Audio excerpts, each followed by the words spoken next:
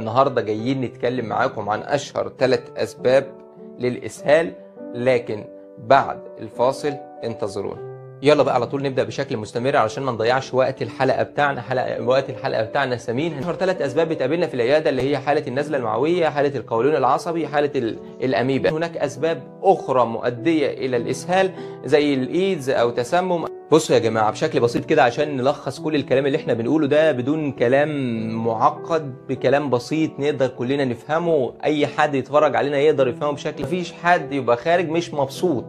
عايزين كل الناس من هنا تكون طالعة مبسوطة من الفيديو ده. عايزكم بقى تركزوا معايا واحدة واحدة. إزاي نفرق ما بينهم كلهم؟ بصوا يا جماعة ما نيجي نتكلم عن تشخيص الأميبا نقدر نقول بشكل بسيط قوي. إحنا الكلام ده دكتور بتدينا دايما معلومات جميلة جدا ومهمة جدا وناس كتيرة جدا ما تعرفهاش. لكن دلوقتي يا دكتور إزاي نشخص حالة الأميبا؟ بصوا يا جماعة قبل ما نتكلم عن تشخيص الأميبا لازم نتفق اتفاق كده مع بعض. اما نيجي نقول آه، إسهال سواء كانت النزلة المعوية أو القولون العصبي أو الأميبا إن كلهم مشتركين.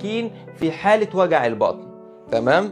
دي كده النقطة رقم واحد. النقطة التانية بقى نمسك كل حاجة من اللي نمسك الأميبا ونتكلم فيها بشكل. وما نيجي نتكلم عن تشخيص الأميبا نقدر نقول إن في في وجع أثناء التبرز مع ريحة براز كريهة. طبعا والحالات الأساسية اللي قلنا عليها إن في إسهال مع وجع بالبطن. يبقى إسهال ووجع بالبطن وريحة براز كريهة ووجع أثناء التبرز. ده كده بشكل مختصر خالص الأميبا نتكلم عن تشخيص النزلة المعوية. لازم يكون فيه إسهال. والناس اللي ما اتفرجتش على فيديو النزلة المعوية تروح تتفرج عليه دلوقتي حالا في معلومات كافية وشاملة عن الأسباب والتشخيص والعلاج والروشتة الطبية اللي بتتكتب في العيادات. نتكلم عن النزلة المعوية. نقدر نقول بكل بساطة إنها يكون مصحوب مع الإسهال بتاعنا ترجيع وسخونية. والناس اللي ما اتفرجتش على فيديو النزله المعوية بنخش دلوقتي بشكل حالا نروح نتفرج على الفيديو ده وبعد كده تعالى لنا مرة تانية علشان نكمل مع بعض اللي المفروض نعمله. يبقى إحنا كده عرفنا تشخيص الاميبا عرفنا تشخيص النزله المعوية. يلا بقى نتكلم دلوقتي على تشخيص القولون العصبي جميل جدا يا دكتور الكلام اللي حضرتك بتقوله. قلنا الاميبا وتشخيص الاميبا قلنا تشخيص النزلة المعوية. دلوقتي نتكلم كيفية تشخيص القولون العصبي. لما نيجي نتكلم عن تشخيص القولون العصبي لازم نقول إن في انتفاخات وسوء في الهضم مع وجع البطن وطبعا بتزيد مع الزعل والضغط العصبي. عشان كده بننصح الناس بلا استثناء في كل المك... في كل الأماكن في كل الندوات في كل الدورات في كل المؤتمرات في في التلفزيونات في الراديو في كل الأماكن بننصح بنقول ممنوع العصبية. ما تسمحش لأي حد بأي حال من الأحوال إن هو يعصبك لأنك أنت اللي هيجي لك الضغط أنت اللي هيجي لك السكر أنت اللي هيجي لك القلب أنت اللي هتموت في النهاية وهو قاعد كده في حالة من البرود. يلا يا جماعة بقى دلوقتي نراجع كل الكلام اللي إحنا قلناه. إحنا اتكلمنا أول حاجة عن الإسهال وقلنا إن الإسهال أشهر ثلاث أسباب ليه واحد الأميبا. اتنين النزلة المعوية. تلاتة القولون العصبي. بشكل بسيط اتكلمنا عن الإسهال قلنا هناك ثلاث أسباب آه، رئيسية أو من أشهر الأسباب اللي بتقابلنا في العيادات. قد تكون هناك أسباب أخرى زي الإيدز أو تسمم أو ايا كان ال- الأسباب الأخرى لكن إحنا بنتكلم دلوقتي عن أشهر ثلاث أسباب بالفعل بنقابلها في العيادة اللي هو الأميبا والنزلة المعوية والقولون العصبي. اما نيجي بقى نتكلم عن كل حاجة أول حاجة اما نيجي نتكلم عن الاميبا نقدر نقول إن في ريحة براز كريهه وفي وجع أثناء التبرز طبعا مع وجع البطن. يبقى إحنا كده آه، آه، نميز الاميبا إزاي؟ في ريحة براز كريهه في وجع أثناء التبرز في وجع بالبطن. لما نيجي نتكلم عن ال gastroenteritis أو النزله أو النزله المعوية نقدر نقول إن في وجع بالبطن مع الترجيع والسخونية. وروح اسمع دلوقتي فيديو النزله المعوية علشان تاخد معلومات مفصلة عن الأسباب والتشخيص والعلاج والروشتة الطبيه اللي بتتكتب في حالة النزله المعوية. وتالت حاجة اللي هو القولون العصبي. إما نيجي نتكلم عن القولون العصبي يعني في وجع اسهال أو إمساك في وجع بالبطن في سوء هضم في انتفاخات وطبعا بتزيد مع الزعل والضغط العصبي. عشان كده بننصح كل الناس في الروشتة بتاعتنا مش مجرد أدوية بس نكتب كده ممنوع العصبية مش عايزين نسمح لأي حد بأي حال من الأحوال إن هو يعصبنا. يبقى كده كده لخصنا كل الكلام اللي إحنا قلناه. طب يا دكتور بقى الروشتة اللي بنكتبها في حالات الإسهال روشتة روشتة الإسهال في العيادة إيه يا دكتور؟ يلا بينا. نتكلم بقى دلوقتي عن روشتة علاج الإسهال.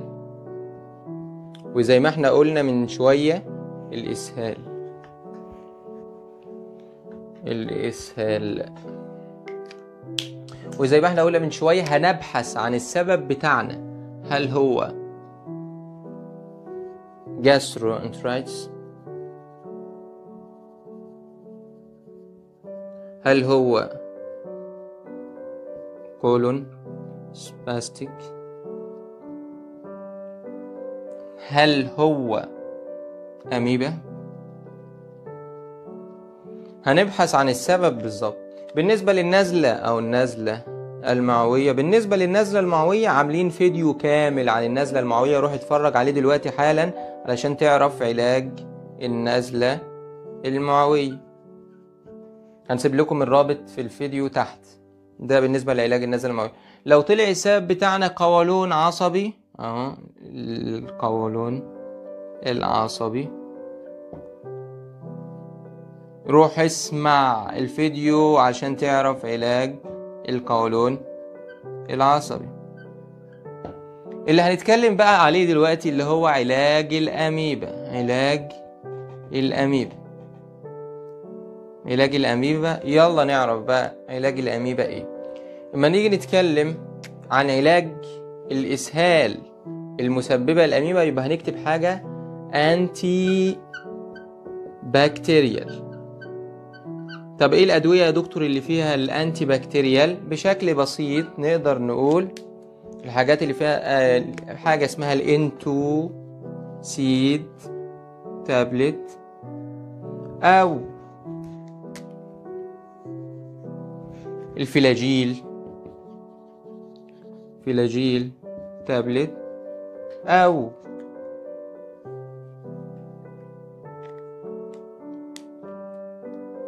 ستريبتو ستريبتو كين.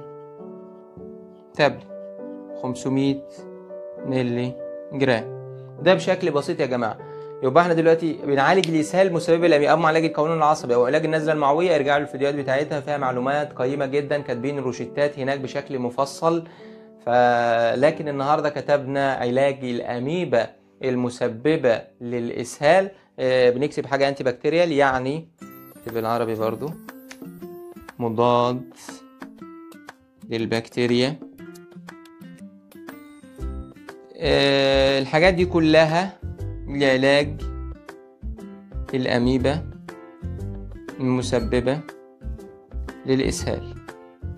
وبكده يا جماعة يكون خلصنا الفيديو بتاعنا النهاردة. بالنسبة لاستخدام يا جماعة الأدوية دي قرص ثلاث مرات يوميا لمدة أسبوعين.